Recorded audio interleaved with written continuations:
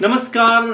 आप देख रहे हैं टीपी न्यूज़ और आज एक बार फिर एक ऐसा मुद्दा जिसमें जो सांसद आपके क्षेत्र के होते हैं, जिनको आप चुनते हैं कि आपके जो है हर एक मामले में, हर एक मुश्किल घड़ी में वो आपके साथ खड़े होंगे, लेकिन ऐसा नहीं होता है क्योंकि जो हवाई जहाज़ों से पहुँचते हैं, टिकट उनको मिल जाता है, वो उसी हवाई जहाज़ से उड़कर वापस अपने जो काम है उसमें पहुँच जाते हैं और नज़र नहीं आते। सनी देवल की बात हम करना चाहेंगे, गुरदासपुर से बड़े अंतर से चुनाव जीता। वहाँ के जो बड़े कांग्रेस के नेता थे, उनको हराया, जनता ने उनको प्यार दिया, जो प्रचार प्रसार हुआ, उनका ये हुआ कि ये सनी देवल हैं, ये पाकिस्तान में जाकर नल उखाड़ देते हैं। तो यहाँ पर ये जनता के लिए बहुत कुछ करने वाले हैं, लेकिन ज़रा देखिए, ये वही जनता है, वही लोग हैं, वही सब कुछ है, लेकिन माहौल किस तरह से बदल गया है कि लोग कोरोना के खौफ में जी रहे हैं, डर में जी रहे हैं, परेशानी उनके सामने खड़ी हुई है, रोजी रोटी का संकट उनके सामने खड़ा हुआ है, लेकिन फिर भी उनके सांसद उस क्षेत्र से गायब हैं और ये अपने आप में एक बड़ा सवाल बन जाता है कि आखिर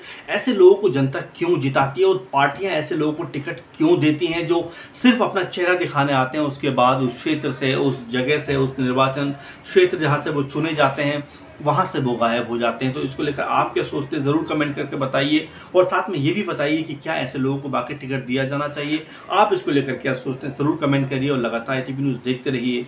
नमस्कार।